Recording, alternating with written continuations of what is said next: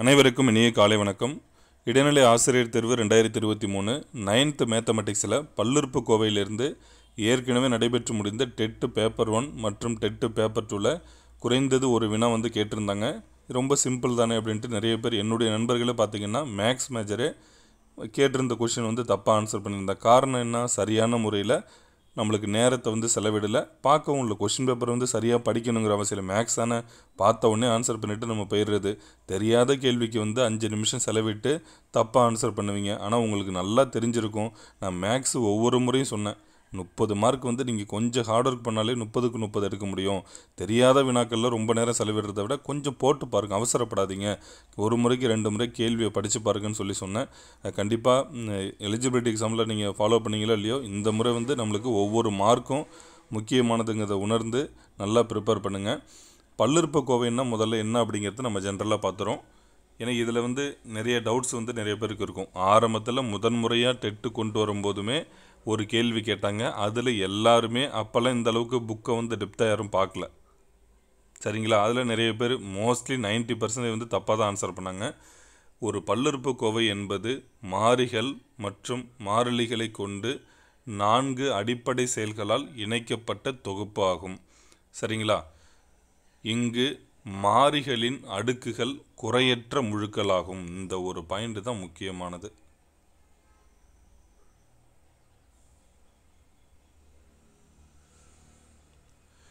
அதாவது மொத்தம் நான்கு அடிப்படை செயல்களால் இணைக்கப்பட்ட தொகுப்பு. இப்போ ஒன்று மட்டும் இருந்ததுன்னா ஓர் உறுப்பு கோவைன்னு சொல்லுவோம். இரண்டு உறுப்புகள் இருந்ததுன்னா ஈ- ஈருறுப்பு கோவை. மூன்று உறுப்புகள் இருந்ததுன்னா மூ உறுப்பு கோவை. மூணுக்கு மேலே இருந்ததுன்னா தான் பல்லுறுப்பு கோவை. புரியுதுங்களா நல்லா? ஒரே ஒரு உறுப்பு மட்டும் இருந்ததுன்னா ஓர் உறுப்பு கோவை. இரண்டு உறுப்புகள் இருந்ததுன்னா ஈ- ஈருறுப்பு கோவை மூன்று டேர்ம் கொடுத்துருந்தாங்கன்னா மூ உறுப்பு கோவை மூணுக்கு மேலே இருந்தாலே எல்லாமே நம்மளுக்கு வந்து பல்லுறுப்பு கோவை. அதை முதல்ல தெளிவாக புரிஞ்சுப்போம். அடுத்தது மாறி மாறிகள் மாறிலிகள்னு இருக்குது சொல்ல இதில் பாருங்கள் மாறிகளின் அடுக்குகள். மாறிகளின்னா என்ன? ஒன்றும் இல்லைங்க. இந்த X Y Z ABC M இந்த மாதிரி இங்கிலீஷ் லெட்டர் இருக்குங்களா அது மட்டும்தான் மாறிகள். அதனுடைய அடுக்கு மட்டும் குறையற்ற முழுக்களாக இருக்கணும். என்ன குறையற்ற முழுக்கள்னா ப்ளஸ்ஸில் தான் இருக்கணும். மைனஸில் வரக்கூடாது ரூட் வர நான் ஏற்கனவே உங்களுக்கு ஒரு குழு சொன்னேன். பல்லுறுப்பு கோவையில் வந்து ஞாபகம் வச்சுக்க வேண்டியது வந்து பவரில் வந்து மைனஸ் வரக்கூடாது அந்த மாறிக்கு வந்து ரூட் வரக்கூடாது. இது ரெண்டை மட்டும் ஞாபகம் வச்சா போதும். பவரில் மைனஸ் வரக்கூடாது ரூட் வரக்கூடாது அதே போல் கீழே இருக்கக்கூடாது. கீழே. ஒன் பை எக்ஸு கீழே வந்து மாறிகள். இது எல்லாமே நான் சொல்கிற நம்பர் இருக்கிறதுல பிரச்சனை இல்லைங்க. நம்பர் வரலாம் எப்படி வேணாலும். ஆனால் நம்ம வந்து இது மாறிகள்னு சொல்கிறாங்கல்ல எக்ஸு ஒய் இசட் ஏபிசி அந்த மாதிரி லெட்ரு எல்லாமே மூணே மூணு கண்டிஷன் மட்டும் ஞாபகம் வச்சுங்க. ஏன்னா அது இருந்தாலும் நம்ம ஈஸியாக கண்டுபிடிச்சிடலாம் குழு. பாருங்கள் முதல்ல பல்லுறுப்பு கோவைன்னா நான்கு உறுப்புகளுக்கு மேலே அதாவது மூணு உறுப்புகளுக்கு மேலே இருக்கும். அதை வந்து நம்ம பல்லுறுப்பு கோவைன்னு சொல்லுவோம். வேறு எதை வச்சு ஐடென்டிஃபை பண்ணுறது அப்படின்னு கேட்டிங்கன்னா முதல்ல நல்ல ஞாபகம் வச்சுங்க. ரூட் இருக்கக்கூடாது. எதுக்குன்னா மாறிகளுக்கு அதாவது எக்ஸோ ஒய்யோ இசட்டோ ஏதோ ஒன்று அப்படி இருக்கக்கூடாது. அப்படி இருந்தால் அது வந்து பல்லுறுப்பு கோவை அல்லன்னு முடிவு பண்ணிக்கிறோம். அதே போல் பவரில் வந்து மைனஸ் வரக்கூடாது. அதுவும் நல்லா ஞாபகம் வச்சுக்கிறோம். ஏன்னா குறையற்ற முழுக்கள் ரூட்டும் வரக்கூடாது. ஏன்னா ரூட்டுனாலே பவரில் வந்து என்ன இருக்குன்னு அர்த்தம்? One by two one by டூங்கிறது முழு எண் கிடையாது. அதனால தான் நான் சொல்கிறேன் அப்போ ரூட் வரக்கூடாது பவரில் மைனஸ் வரக்கூடாது முன்னாடிலாம் மைனஸ் வரலாங்க. அது ஒன்றும் பிரச்சனை இல்லை. நல்லா பார்த்துங்க எல்லாமே நம்மளுக்கு வந்து குழப்பம். நான் சொல்கிறது நல்லா தெளிவாக ரூட் வரக்கூடாது. பவரில் மைனஸ் வரக்கூடாது. முன்னாடிலாம் இருக்கிறது பிரச்சனை பிரச்சனையே கிடையாது. அதே போல் கீழே இருக்கக்கூடாது. ஒன்று பை எக்ஸ் ஸ்கொயரு ஒன்று பை ஏ பவர் நாலு ஒன்று பை பி பவர் அஞ்சு. இந்த மாதிரி கீழே இருக்குது ஒன் பை கீழே இருந்தாலும் நம்ம அதை மேலே கொண்டு போகும்போது பவரில் மைனஸாக மாறிடும். அப்போ இது மூணு மட்டும் ஞாபகம் வச்சுக்கிறோம். ரூட் வரக்கூடாது. மாறிகளுக்கு பவரில் மைனஸ் வரக்கூடாது. அதே போல் டினாமினேட்டரில் வரக்கூடாது. மாறிகள்லாம். இவ்வளவு தான் வேறு எந்த கண்டிஷனுமே கிடையாது. அதே போல் என்ன டவுட் வரும்னு கேட்டிங்கன்னா இப்போ நாங்கள் வந்து ஃபஸ்ட்டு ரெண்டாயிரத்தி பன்னெண்டு பதிமூணில் எழுதும்போது ஒரு கேள்வி கேட்டிருந்தாங்க. கீழ்கணவற்றில் எது வந்து பல்லுறுப்பு கோவை அல்லன்னு. அப்போ ஆப்ஷனில் பார்க்கும்போது ஜீரோன்னு இருந்தது. சரி நமக்கு என்னப்பா ஜீரோ தான் பல்லுறுப்பு கோவை இல்லைங்கிறது தான் எல்லாருமே மோஸ்ட்லி ஜீரோ தான் ஆன்சர் பண்ணாங்க. ஆனால் ஜீரோங்கிறதும் ஒரு பல்லுறுப்பு கோவை தான். எப்படி நம்ம சொல்கிறோம் ஜீரோ இன்ட்டு எக்ஸ் பவர் நாலு ஜீரோ இன்ட்டு எக்ஸ் பவர் மூணு ஜீரோ இன்ட்டு எக்ஸ் பவர் ரெண்டு ஜீரோ எக்ஸு இப்படியும் எழுதிக்கலாம். இதோட மதிப்பும் ஜீரோ தான். அப்போ ஜீரோங்கிறதும் ஒரு பல்லுறுப்புக்கோவை தான். அதை நல்லா தெளிவாக ஞாபகம் வச்சுங்க பல்லுறுப்புக்கோவை இல்லைன்னு கேட்டிருந்தாங்கன்னா நான் சொன்ன கண்டிஷன்லாம் யோசித்து பார்க்குறீங்க ரூட் வரக்கூடாது. மாறிக்கு பவரில் மைனஸ் வரக்கூடாது டினாமினேட்டரில் வரக்கூடாது கீழே வரக்கூடாது. இவ்வளவு தான் வேறு எந்த கான்செப்டும் யோசிக்கக்கூடாது நீங்கள் இது மட்டும் இருந்துச்சுனாலே நம்ம ஈஸியாக பார்த்து ஆன்சர் பண்ணிடலாம். சரிங்களா? அப்போ ஜீரோன்னு ஆப்ஷனில் கொடுத்தாலும் அதுவும் பல்லுறுப்புக்கோவை தான் இப்போ நான் உங்களை ஒரு கேள்வி கேட்குறேன் பாருங்கள் ரெண்டு எக்ஸ் ஸ்கொயர் மைனஸ் அஞ்சு எக்ஸு ப்ளஸ் ரெண்டு எக்ஸு க்யூபு ப்ளஸ் அஞ்சு எக்ஸு அஞ்சு எக்ஸ் ஸ்கொயர் ப்ளஸ் நாலு எக்ஸு மைனஸ் மூணு. இது வந்து ஒரு பல்லுறுப்பு கோவையான்னு உங்களுக்கு கேட்டால் என்ன ஆன்சர் பண்ணுவீங்க? ஆமாம் பல்லுறுப்பு கோவை தான். இங்கே பாருங்கள் பவரில் வந்து மைனஸ்லாம் எங்கேயுமே இல்லை. இங்கே முன்னாடி இருக்கிறதுக்கு பிரச்சனை இல்லைங்க. நம்ம மறுபடியும் சொல்லிட்டேன் முன்னாடி இருக்கலாம் மைனஸ்லாம் நான் பவரில் தான் இருக்கக்கூடாதுன்னு சொன்னேன் ரூட் வரக்கூடாதுன்னு சொன்னேன் கீழே வரக்கூடாதுன்னு சொன்னேன். அப்போ இது வந்து பல்லுறுப்பு கோவை தான். ஸோ ஜீரோன்னு இருந்ததுன்னா அதுவும் பல்லுறுப்பு கோவை தான். அடுத்து பாருங்கள் எக்ஸ் பவர் மூணு minus root X square plus ரெண்டு எக்ஸு மைனஸ் மூணு. இது வந்து பல்லுறுப்பு கோவையான்னு சொல்லுங்கள் இல்லை ஏன்னு சொல்லுங்கள் ரூட் வந்திருக்குங்களா பாருங்கள் இப்போ ரூட் வந்தாலே பல்லுறுப்புக்கோவை இல்லைன்னு நம்ம ஒன்று ஆன்சர் பண்ணிவிடுவோம் ஆனால் இல்லை அவசரப்படக்கூடாது. இப்போ ரூட் வந்ததுன்னா நான் ஏற்கனவே சொன்னேன். ஆமாம் ரூட் வந்ததுன்னா பல்லுறுப்புக்கோவை இல்லைன்னு தான் சொன்னேன். ஏன்னா பவரில் வந்து ஒன் பை டூன்னு வரும்னு சொன்னேன். ஆனால் இங்கே எப்படி கொடுத்துருக்காங்க பாருங்கள் நல்லா பாருங்கள் எக்ஸு க்யூபு மைனஸ் இங்கே உள்ளார நம்பர் இருக்குது பாருங்கள் அதையும் ஒரு தடவை நம்ம பார்த்துக்கணும். எக்ஸ் ஸ்கொயர்னு இருக்குது ரூட்டுனாலே பவரில் ஒன் பை டூன்னு நம்ம போடுவோம். இந்த ரெண்டுக்கு ரெண்டுக்கும் அடிச்சிடலாங்க பார்த்தீங்களா இப்போ இந்த ஸ்கொயருக்கும் ரூட்டுக்கும் கேன்சல் ஆகிடுச்சு மோஸ்ட்லி இப்படி வராது. சப்போஸ் வந்துச்சுன்னா சரி சப்போஸ் இப்போ நாலுன்னு இருக்குன்னு வச்சுப்போமே. நாலுன்னா எக்ஸ் பவர் நாலு ரூட்டுன்னா பவரில் ஒன் பை டூன்னு போடுவோம். ஓரன் ரெண்டு ரெண்டு நாலு. அப்போ இதுவும் மொழிய மொழியன் தானே வருது. அப்போ ரூட்டு வந்ததுன்னா இது வந்து பல்லுறுப்புக்கோவை அல்லன்னு நம்ம சொல்லிடக்கூடாது. முடிந்த அளவுக்கு நம்ம சுருக்கி பார்த்து அதுக்கப்புறமா வந்தால் தான் சரிங்களா? இப்போ புரியுதுங்களா? இப்போ எக்ஸ் ஸ்கொயரோ எக்ஸ் பவர் நாலோ ரெட்டப்பட நம்பர் வந்ததுன்னா கண்டிப்பாக அது நீங்கள் கேன்சல் ஆகிடும் ரெண்டால் வகுக்கும்போது. ஆனால் மற்றதெல்லாம் அப்படியே தான் இருக்கும் ஒற்றைப்படையன் வந்து இப்போ சப்போஸ் மூணுன்னு இருந்ததுன்னா மூணு பை ரெண்டுங்கிறது அது ஒன்றும் நம்ம ஒன்று புள்ளி அஞ்சுங்கெல்லாம் முழு எண் கிடையாது. புரியுதுங்களா இப்போ? அப்போ ஒரு கணக்கு கொடுத்தாங்கன்னா நம்ம நிறைய ஆங்கிளில் வந்து யோசித்து பார்க்கணும்.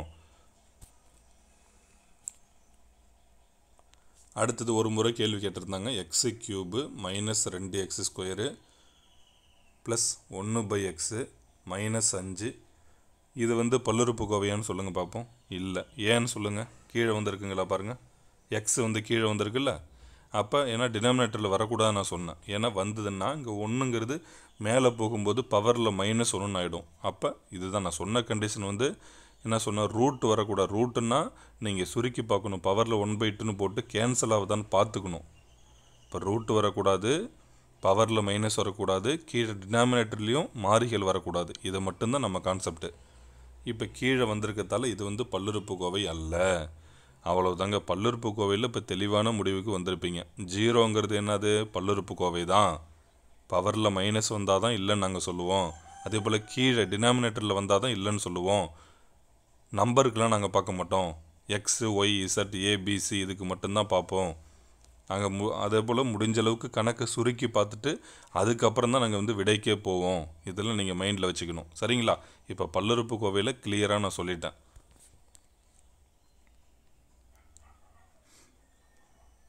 உங்களுக்கு ஒரு உதாரணங்கள் வந்து கொடுத்துருக்காங்க பார்த்துங்க.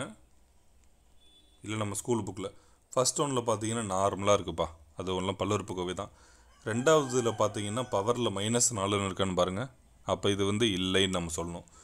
மூணாவதுல பார்த்தோம்னா அதுவும் நார்மலாக இருக்குது நல்லா சொல்லிட்டேன். மூணாவது வந்து நாலு பை அஞ்சுன்னு இருக்கே. சா இது மாதிரி தான் இருக்கக்கூடாதுன்னு சொன்னீங்களேன்னு கேட்கக்கூடாது. நான் மீண்டும் மீண்டும் சொல்கிறேன் நம்பருக்கு பார்க்கவே கூடாது. நீங்கள் நம்பருக்கு ரூட் இருக்கலாம் எது வேணாலும் இருக்கலாம். அது விஷயமே கிடையாது. நான் சொல்கிறது எல்லாமே மாறிகளுக்கு தான். ஏபிசி எம்எக்ஸ் ஒய்சட் அது இருக்குங்களா? அந்த டேர்முக்கு மட்டும்தான். அப்போ மூணாவது இதுவும் பல்லுறுப்புக்கோவை தான். நாலாவது பார்த்தீங்கன்னா நாலாவதும் பல்லுறுப்புக்கோவை தான். உங்களை குழப்பணுங்கிறதுக்காகவே இப்படிலாம் கொடுப்பாங்க. ரூட் அஞ்சு ஒய் ஸ்கொயர்னு இருக்குது பார்த்தீங்களா ரூட் அஞ்சுக்கு எது இருந்தால் நான் நம்பருக்கு எப்படி வேணாலும் இருக்கலாம்னு சொல்லிட்டேன். நம்ம நம்ம நீங்கள் பார்த்தோன்னு என்ன செய்வீங்க? ரூட் வந்திருக்கு. இல்லைன்னு நம்ம அடிக்கூடாது நான் சொல்கிறேன் நம்பருக்கு எதையுமே பார்க்காதீங்க.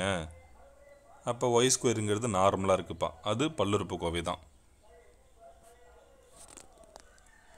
அடுத்தது பாருங்கள் எல்லாமே ஆறை வச்சு வந்திருக்கு. இங்கே வந்து பாருங்கள் ஒன் பை ஆறுன்னு இருக்குது அப்போ நான் கண்டிப்பாக பார்த்த உடனே இல்லைன்னு நான் சொல்லிவிடுவேன் ஏன்னா கீழே வந்திருக்குல்ல டினாமினேட்டரில் அதனால் ஒன் பை ஆறுன்னு வந்ததால் இல்லை. மூணாவது பார்த்தோம்னா இல்லைன்னு சொல்லுவோம். ஏன் நான் இல்லைன்னு சொல்ல போகிறேன் இதுக்கு வந்து நம்பருக்கெல்லாம் ரூட் இல்லை. க்யூன்னு இருக்குது பாருங்கள் க்யூவுக்கு ரூட் இருக்குது அப்போ மாறிகளுக்கு ரூட் இருந்தாலே அது வந்து இல்லைன்னு அர்த்தம். அப்போ அதுவும் இல்லைன்னு சொல்லிவிடுவேன் கடைசியில் பாருங்கள் ஏழாவது என் நம்பருக்கு தானே எட்டுக்கு தானே ரூட் இருக்குது அது எங்கேயாவது ஓரமாக இருந்துட்டு போட்டும் பிரச்சனையே இல்லை. நம்மளுக்கு மீதி எல்லாம் நார்மலாக தான் இருக்குது அதுவும் பல்லுறுப்பு கோவை தான். அடுத்த கடைசி இதை பாருங்கள் இதுதான் புக்கில் கொடுத்துருக்க கடைசி எக்ஸாம்பிள் இது வந்து பல்லுறுப்பு கோவையான்னு கேட்டிங்கன்னா இல்லை. அது உங்களுக்கு பார்த்த உடனே நல்லா தெரியுது. பவரில் பார்த்தீங்கன்னா முழு எண்ணா இல்லை. அதாவது முழு எண்ணா இல்லைன்னாலும் அது வந்து பல்லுறுப்புக்கோவை கோவையில் தான் நான் அதை வந்து முன்னாடியே உங்கள்கிட்ட சொல்லியிருக்க மாட்டேன்னு நினைக்கிறேன். ரூட்டு வந்தால் இல்லைன்னு நான் சொன்னேன். ரூட்டு வந்தால் இல்லைன்னு காரணம் என்னது? பவரில் எழுதுவீங்க. அது வந்து பவரில் முழு எண்ணா வந்தால் தான் பல்லுறுப்பு முழு எண்ணா வரணும். முழு எண்ணா. புள்ளி வச்சுலாம் வரக்கூடாது. அப்போ பவரில் வந்து முழு எண் வரலன்னாலும் அதுவும் பல்லுறுப்புக்கோவை அல்லன்னு தான் சொல்லணும். இங்கே பாருங்கள் என் பவர் நாலு பை அஞ்சுன்னு இருக்குது நாலு பை அஞ்சு நாலை வந்து அஞ்சால் வகுத்தாலும் ஜீரோ புள்ளி ஜீரோ பாயிண்டில் தான் வரும். அப்போ அது வந்து முழு எண் வந்து இல்லை. அப்போ இதுவும் பல்லுறுப்புக்கோவை அல்ல. அப்போ அடுக்கில் வந்து குறையற்ற முழுக்கள் வரணும். ப்ளஸ்ஸில் நம்பர் வரணும். முழு எண்ணாக வந்ததுனா தான் பல்லுறுப்புக்கோவை ஓகேங்களா தெளிவாக நான் பண்ண நம்பருக்கு பார்க்காதீங்க. மாறிகளுக்கு மட்டும்தான் பார்க்கணும். மாறிகள்லாம் என்னென்னா ஏவிலேருந்து இசட் வரைக்கும் கொடுப்பாங்கல்ல? அந்த டைம் எல்லாமே மாறிகள் தான். சரிங்களா?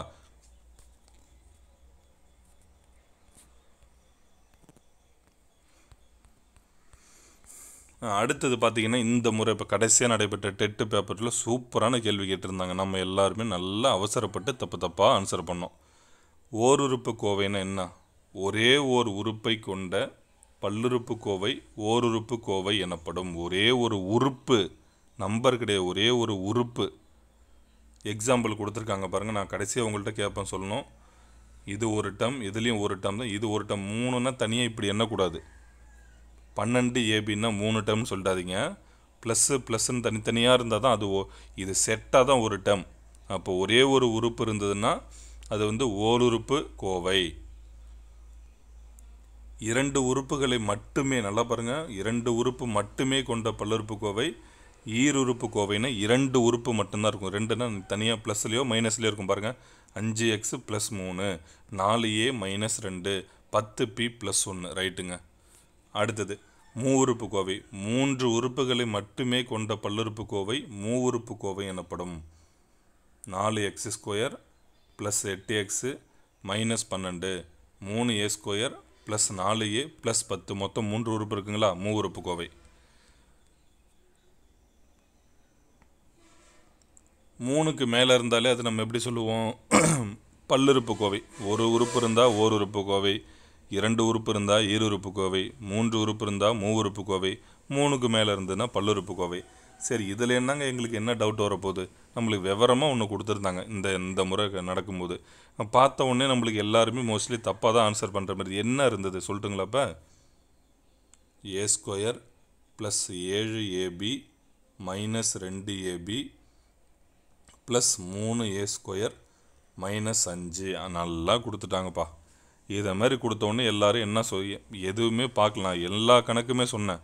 ஒரு கணக்கு கொடுக்குறாங்கன்னா முதல்ல அந்த கணக்கை சுருக்கிய வடிவம் என்ன சிம்பிளிஃபை பண்ண முடியுமோ சிம்பிளிஃபை பண்ணிட்டு தான் அதுக்கப்புறம் கணக்குக்கே போகணுன்னு சொன்னேன். ஆனால் அதெல்லாம் எதுவுமே காதில் வாங்குறதில்ல நாங்கள் எங்களுக்கெல்லாம் டைம் இல்லை இதெல்லாம் அப்படின்னு சொல்லிட்டு நிறைய பேர் அடுத்தடுத்ததுக்கு போகிறீங்க இப்போ பாருங்களேன். இதில் ஒன்று ரெண்டு மூணு நாலு அஞ்சு டேம் இருக்குப்பா.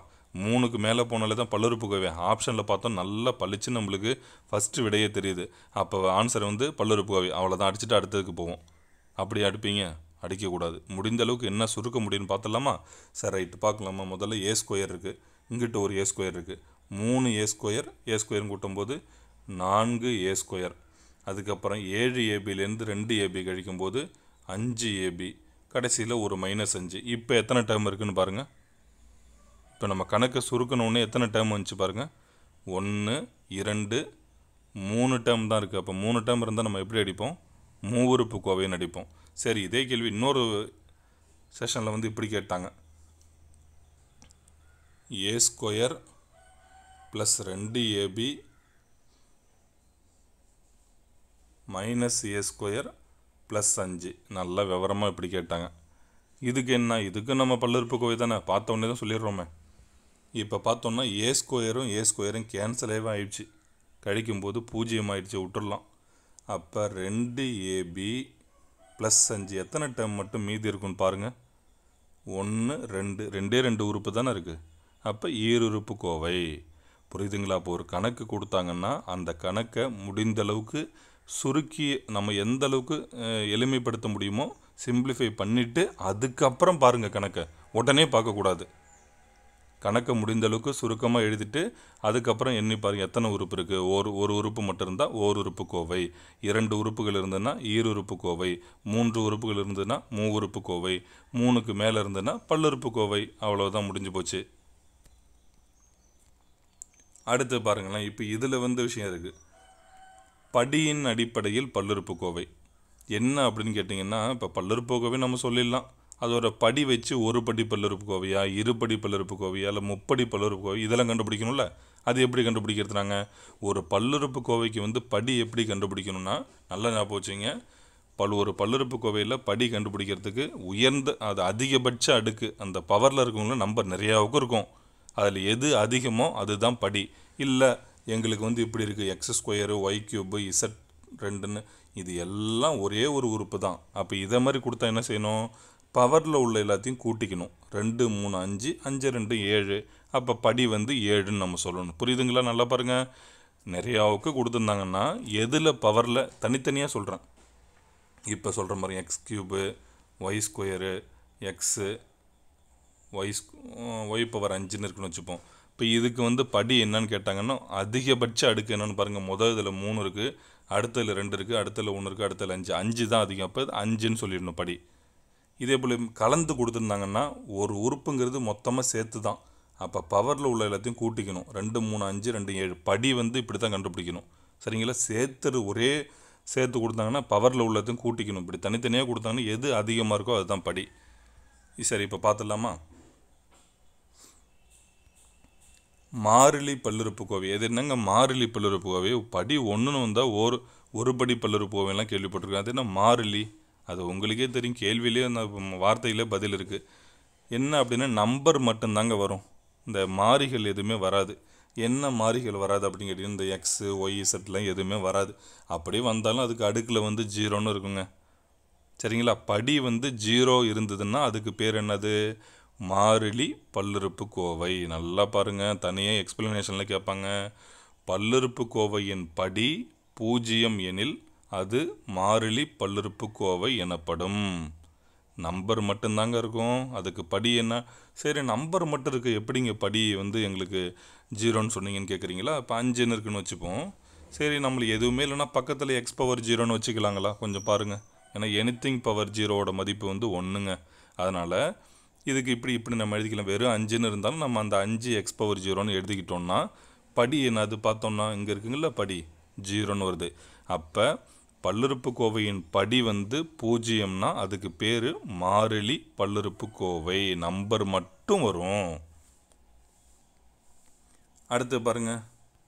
ஒரு படி பல்லுறுப்புக்கோவை. பல்லுறுப்புக்கோவையின் படி ஒன்று எனில் ஒ- படி வந்து ஒன்றுன்னு வந்துச்சுன்னா அதுக்கு பேர் வந்து ஒரு படி பல்லுறுப்புக்கோவை. நான் சொன்ன எல்லாமே நான் ஏற்கனவே சொல்லியிருக்கேன். தயவுசெய்து கணக்கை சுருக்குனதுக்கு அப்புறம் தான் நான் சொன்ன கான்செப்ட்லாம் போனோம். எடுத்த உடனே பார்த்துடக்கூடாது. கணக்கை முடிந்த அளவுக்கு சுருக்கமாக எழுதிட்டு அப்புறமேட்டு பாருங்கள் இப்போ பாருங்களேன். இப்போ நானூற்றி பத்து எக்ஸு மைனஸ் ஏழுன்னு இருக்குது இப்போ எக்ஸோட அடுக்கில் தான் பார்க்கணும். நம்பருக்கெல்லாம் பார்க்கக்கூடாதுங்க. மாறிகளோட அடுக்கில் என்ன இருக்கோ அதுதான் படின்னு சொன்னேன். இங்கே ஒன்றுன்னு இருக்குங்களா? அப்போ படி வந்து ஒன்றுன்னு கிடச்சிருக்கு. அப்போ இது வந்து ஒரு படி பல்லுறுப்புக்கோவை.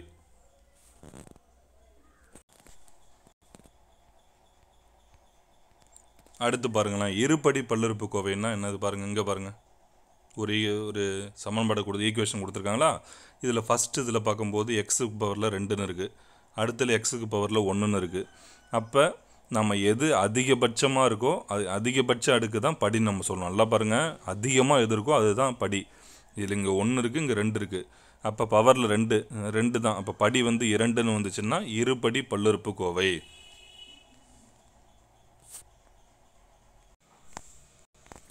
இப்போ அடுத்து பாருங்களேன் முப்படி பல்லுறுப்புக்கோவை ஃபஸ்ட் எக்ஸாம்பிள் பார்த்தீங்கன்னா பன்னெண்டு ஒய் கியூப்னு இருக்குது அப்போ அதனுடைய படி வந்து மூணுன்னு வந்ததால் முப்படி பல்லுறுப்புக்கோவை அடுத்ததில் பாருங்கள் ஆறு எம் பவர் மூணு மைனஸ் ஏழு எம் ப்ளஸ் நாலு. இப்போ உறுப்பு எண்ணி மொத்தம் மூணு உறுப்பு இருக்குது அதனால் முப்படின்னு என்று கூட படியை மட்டும்தான் பார்க்கணும். உறுப்புலாம் இதில் முக்கியமே இல்லை. இங்கிட்டு வந்து மூணுன்னு இருக்குது இங்கே வந்து ஒன்றுன்னு இருக்குது இதை மாதிரி இருந்ததுன்னா எது அதிகமாக இருக்கோ அதுதான் நம்ம படின்னு எடுத்துக்கணும். அப்போ மூணு தானே அதிகமாக இருக்குது அப்போ படி மூணுன்னு வந்ததால் முப்படி பல்லுறுப்பு கோவை. இவ்வளவு தாங்க அப்போ ரொம்ப சிம்பிளாக இப்போ இந்த கான்செப்ட்லேருந்து கண்டிப்பாக ஏதாவது ஒரு வகையில் வினாக்கள் கேட்டாலும் தெளிவாக யோசிச்சு இப்போ கரெக்டாக பிளான் பண்ணிக்கிங்க. சரிங்களா? எந்த டவுட்டுமே உங்களுக்கு வரக்கூடாது. முதல்ல ஒரு கணக்கு கொடுக்குறாங்கன்னா அதை முதல்ல சிம்பிளிஃபை பண்ணிவிட்டு தான் அப்புறமேட்டு கணக்கே நீங்கள் சால்வ் பண்ண போகணும். கண்டிப்பாக இது உங்களுக்கெல்லாம் உதவியாக இருந்திருக்குன்னு நினைக்கிறேன். அனைவருக்கும் நன்றி.